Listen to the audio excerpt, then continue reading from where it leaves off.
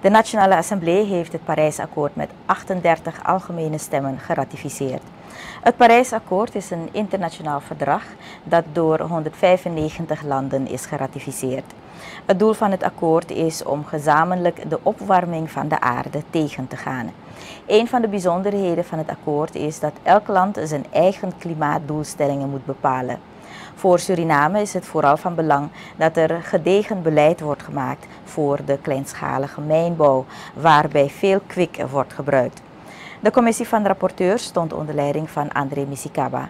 De NDP-parlementariër is er voorstander van dat de ministeries van Buitenlandse Zaken, Ruimtelijke Ordening, Grond- en Bosbeheer en Regionale Ontwikkeling de handen ineens slaan om te werken aan de zaken om milieuvervuiling tegen te gaan. Voorzitter, maar nogmaals, en ik zal dat dan hier deponeren, dat zal uh, mijn advies en mijn oproep om nu reeds, voorzitter, mijn oproep nu reeds om inderdaad die, dat verdrag goed te keuren.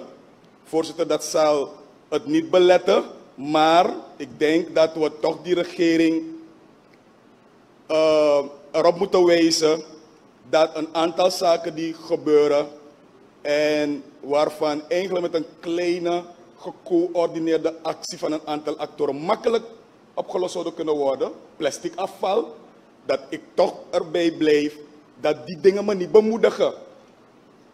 En ik heb die minister gehoord, ambitieus, mooi, maar ik zet daar tegenover minister wat u ons verteld heeft.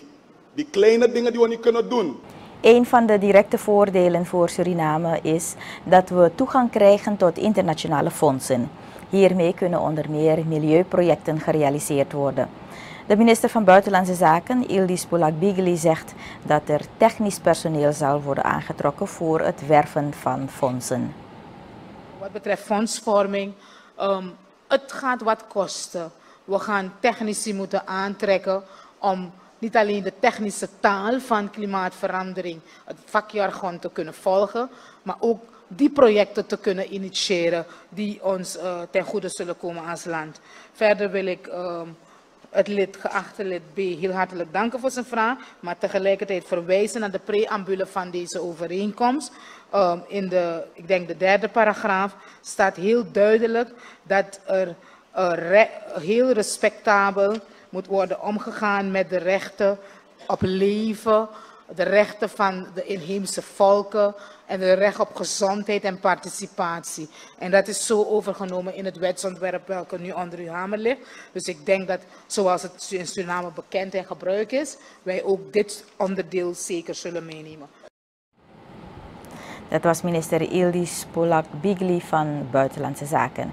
In de Nationale Assemblée is vandaag het Parijsakkoord geratificeerd. Het klimaatakkoord is met algemene 38 stemmen aangenomen.